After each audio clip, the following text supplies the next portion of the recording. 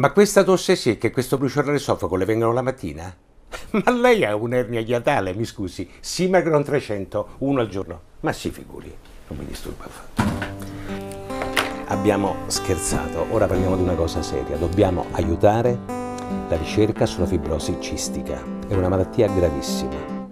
Per questo dobbiamo sostenere la Fondazione per la ricerca sulla fibrosi cistica per trovare una cura. Facciamolo, ma facciamolo adesso. Eh?